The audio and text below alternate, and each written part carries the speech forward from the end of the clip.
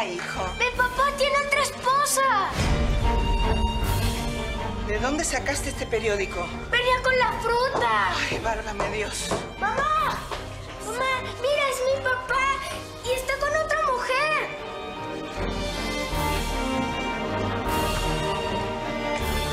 ¿Por qué grita, René? ¿Qué te pasó? Alan, ve, ve con tu abuela porque ella te va a terminar de curar. No, hazlo tú, ma. Por favor, Alan, ve con tu abuela. Vamos, vamos, Alan, obedece. Tú lo sabías, ¿verdad?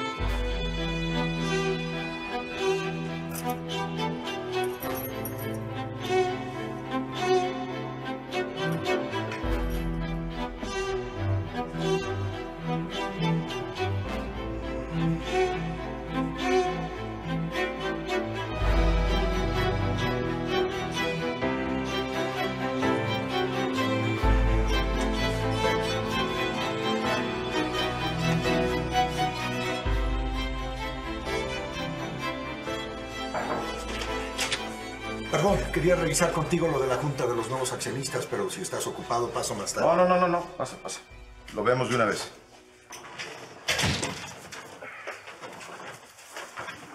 ¿Sabes algo, compadre? Me gustaría que mis hijos hicieran cargo de mi negocio cuando yo muera.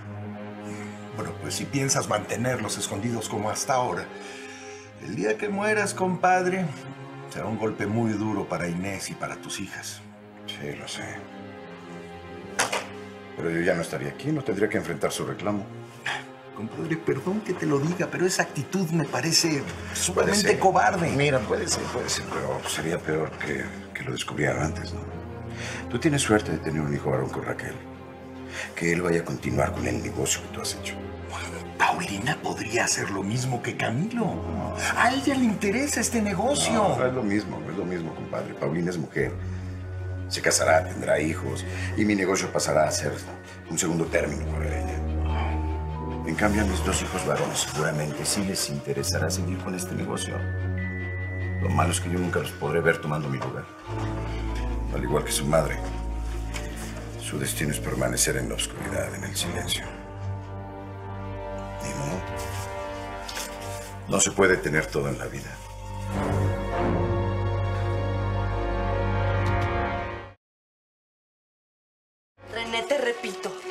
Un error. El que escribió esta nota de seguro se equivocó. ¿Y si no es un error? ¿Y si ustedes son los que nos han estado engañando a Alan y a mí? Amor, por favor, olvídate de este periódico. Quiero hablar con mi papá. ¡Llámale! ¿Sabes que eso no es posible? El teléfono que tengo para localizarlo solamente es para emergencias. ¡Esto es una emergencia, mamá! Esto no es una emergencia. Ya te dije que es un error.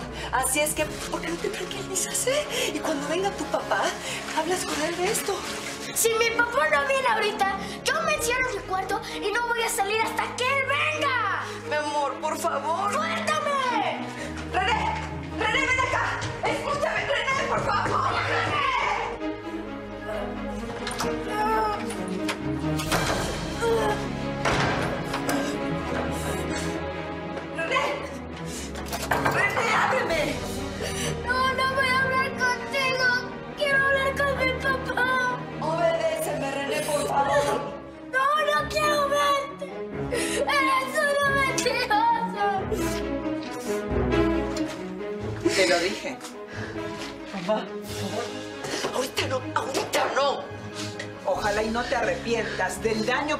haciendo a tus hijos por culpa de ese hombre.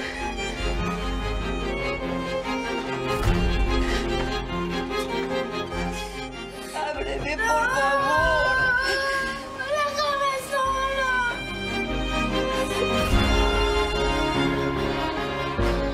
Sí, sí, sí, estamos llegando del consultorio. Buena persona la psiquiatra. Me dio bastante confianza.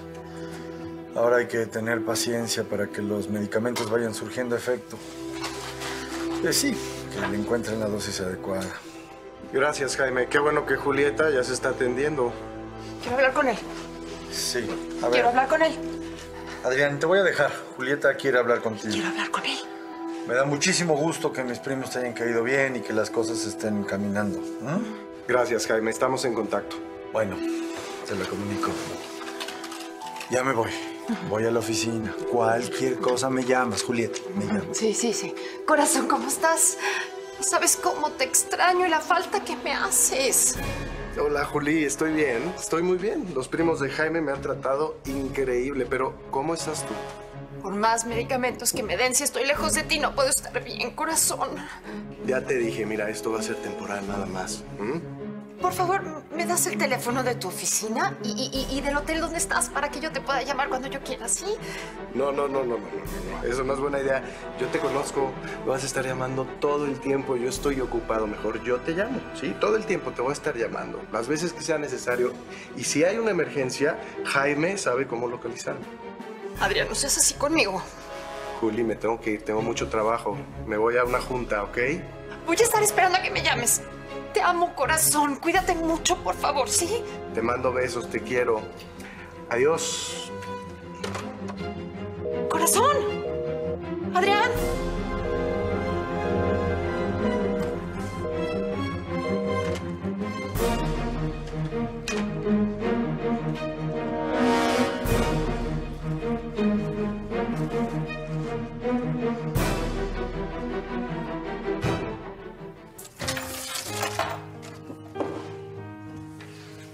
Algo de comer, mi niña. Gracias, Mica. Ya no estés triste, Pau. Yo le he pedido mucho a Dios para que nos haga el milagro y Mauricio se mejore pronto. Yo también le he estado pide y pide. Pero no solo lo de Mauricio te tiene triste, ¿verdad? Seguro que extrañas al joven Adrián. Ay, Mica, lo extraño mucho. Eso que estabas viendo con tanto amor, él te lo dio, ¿verdad? Sí. Pero no hay nada escrito, niña. Tal vez las cosas con él todavía no han acabado. Mira, yo sé que lo sigues queriendo. Y hay amores mm, ni con el mar se apagan. Bueno, tu mami ya está lista. Dice que en cuanto tú estés lista, se van al hospital de regreso. ¿Le puedes decir que me como mi sándwich y no tardó? Claro que sí. Gracias, Mica. Cuando estamos solos, despacio me elevas muriendo en tus labios, bandido. Cuando estamos solos,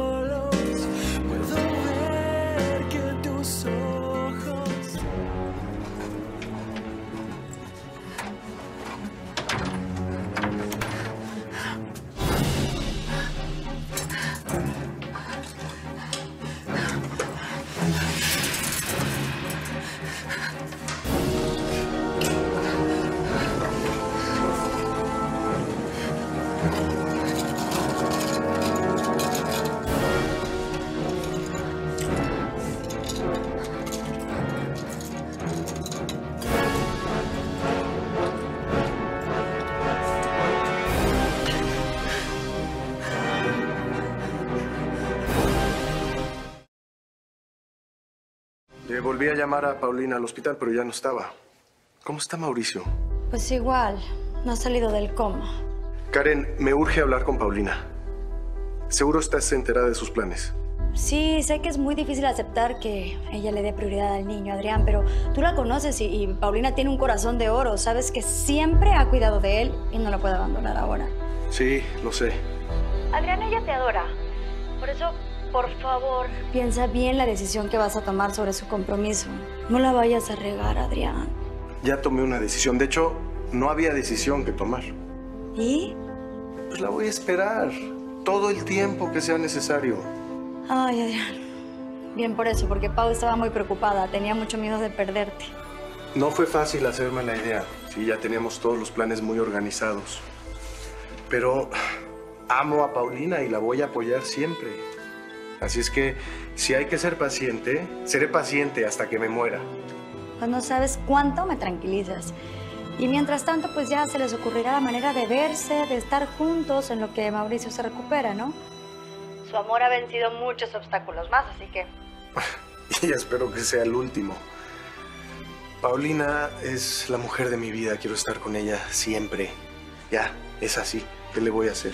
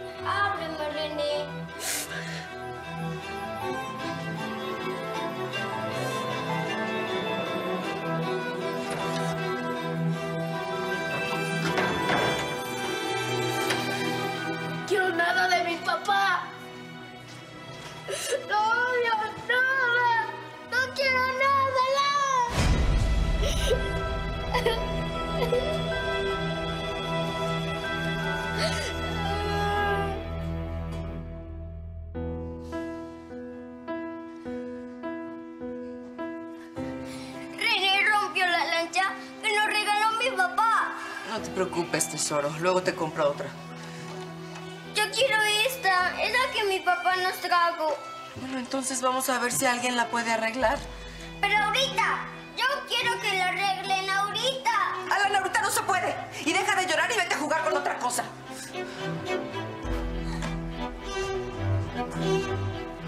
No te desquites con tus hijos. Ellos son los menos culpables de todo esto y los que pagan los platos rotos. Tienes razón, mamá. No se puede tapar el sol con un dedo. René descubrió la verdad y ahora tendrás que enfrentarlo. Hija, si no quieres que se aleje de ti y que esté resentido por el engaño, ponle una solución a esto de inmediato. Eso voy a hacer. Cargo a los niños, Leonel ya me dio todos los gastos financieros del hotel. Leonel es muy eficiente. Te puede servir de gran utilidad. Sí. Solamente tengo una duda. Me dijo que iba a seguir manejando sus gastos personales. ¿No quieren que haga yo eso? No, creo que es mejor que lo siga llevando Leonel, así que... Pues así no te cargas la mano a ti, ¿no? Yo no tengo ningún problema, para eso estoy preparado. Es más, sería mejor idea que los manejara una sola persona, ¿no? Por cuestiones de impuestos. otras nos ha dado muy buen resultado y no le puedo quitar todo también, ¿estás de acuerdo? No, mejor que eso lo maneje. Bueno, pues ustedes mandan. Voy a entregarle a Patricia todos los documentos, ¿no? Para que tenga los archivos. Está bien, hijo, gracias. Los veo. Gracias.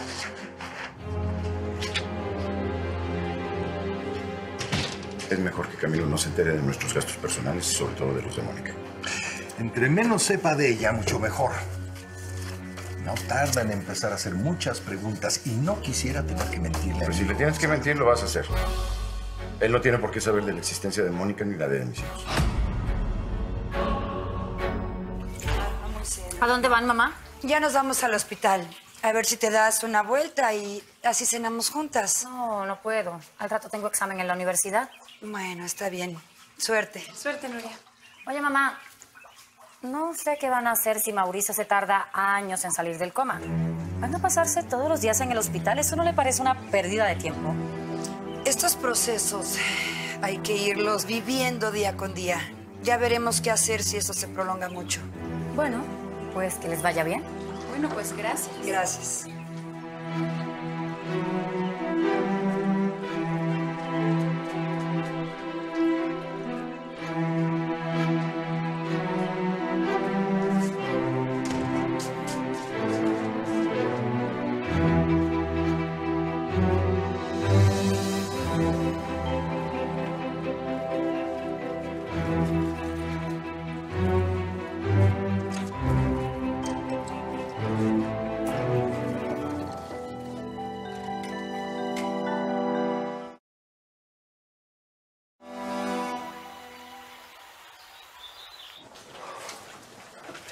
Mónica, ¿Qué tal, Alfonso? ¿Está Gonzalo en su oficina?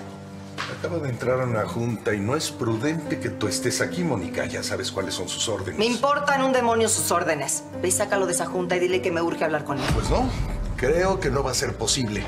Está con unos nuevos accionistas hablando sobre un desarrollo que tenemos en mente. Pues si no lo haces tú, lo voy a hacer yo. Espera, Mónica. Voy a ver qué puedo hacer.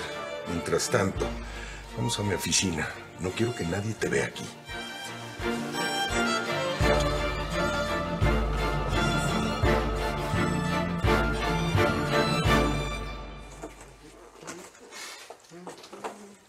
¡Hey! No esperaba verte tan contento. Ven, ven, ven. ¿Cuál te gusta más? De estos, ¿cuál? Este. Mm, mm. ¿Segura? Sí. A mí también me parecía el mejor, pero, pero mientras más los veo, me gusta más ese, nada más que con esta tipografía, porque si no parece una M en vez de doble N. Y se le distinto. Y tienes toda la razón, me gusta más. ¿Verdad? ¿Verdad? No sabía. Pero pensé que no tenías ganas de echar a volar tu creatividad. Eso ya pasó. No, ya estoy bien, ya me siento. Es que decidí, estoy bien, me aclaré. Voy a esperar a Paulina, el tiempo que sea. Eso es todo. Ah, bueno, pues sí. ¿Ya lo decidiste? Bien por ti. Darío, qué bueno que vienes. Mira, dime, ¿cuál te gusta más de estos? ¿Cuál te gusta más?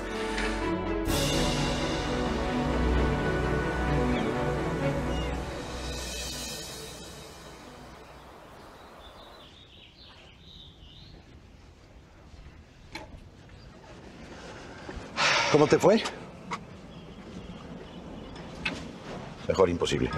Es nuestro día de suerte. Están muy interesados en invertir con nosotros en los terrenos de Playa Alta. Perfecto, esa es una buena noticia. Tu visión sí que está prosperando. Sí, señor. Oye, pero vengo a verte por otro asunto. Acaba de suceder algo terrible. ¿Qué pasó? Mónica está en el hotel. Quería interrumpir tu junta, pero no la dejé. Dice que le urge hablar contigo y te está esperando en mi oficina. Volvió a venir. ¿Qué le pasa? ¿Que no le ha quedado claro que no se puede presentar aquí cada vez que le dé la gana? Bueno, algo trae porque se ve muy, pero muy enojada, ¿eh? Así es que te sugiero que Pues la se va a vayas enojar ver. más. Se va a enojar más porque yo no voy a caer en su juego. Primero rechaza las flores, las joyas que le mandé. Y ahora viene aquí a exigirme que la tienda está loca. ¿Quién se cree esa mujer? Bueno, ¿y qué hago con ella? Pues dile que se largue. Que no la puedo atender y que no se vuelva a presentar en el hotel porque si no le va a ir muy mal. ¿Y no sería mejor que se lo fueras y No. se lo dijeras tú? Que hablaras con ella y te deshicieras no le voy de a dar ese paquete? gusto. Eso es lo que ella quiere y aquel que manda soy yo. Y las cosas se van a hacer a mi modo. ¿Sí me entiendes, verdad, Alfonso? Está bien, está bien.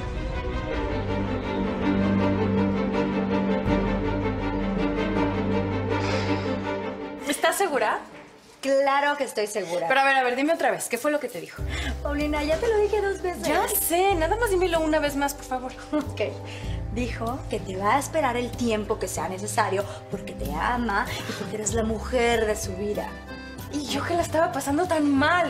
Pues sí, bien dicen que no hay que hacer suposiciones antes de tiempo, porque luego nuestra cabecita empieza a hacer cosas locas, historias Sí. que nos dan en la torre, así como tú, toda deprimida y... No, ay, no. Inés. ¡Ay, Hola. Karen! ¿Qué le dijiste a mi hija que al fin sonríe?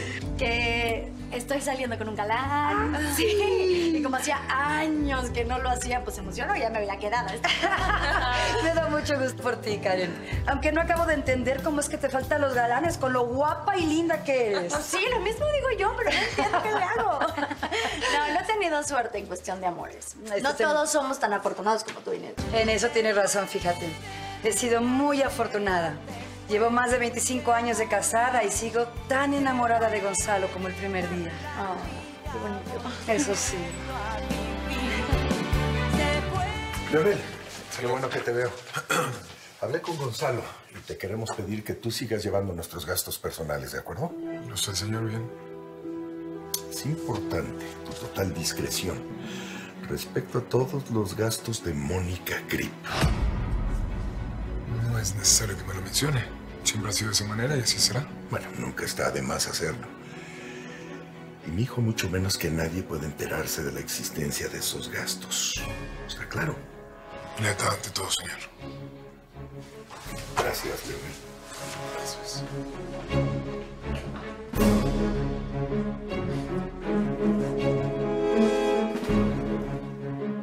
Mónica Grip. ¿Quién será esa mujer? ¿Pudiste hablar con él? Sí, pero no puede atenderte porque acaba de irse con los inversionistas. ¿No le dijiste que estaba aquí? Sí, y me pidió que te dijera que luego se comunica contigo. ¿Qué no le dijiste que me urgía verlo? Baja la voz. Por supuesto que se lo dije. Pero tenía ese compromiso y no lo podía cancelar. Dile a Gonzalo que si no va esta misma noche a mi casa, mañana a primera hora estaré en su casa con René y Alan. Y veremos qué opinan su esposa y sus adoradas hijas al saber quiénes somos.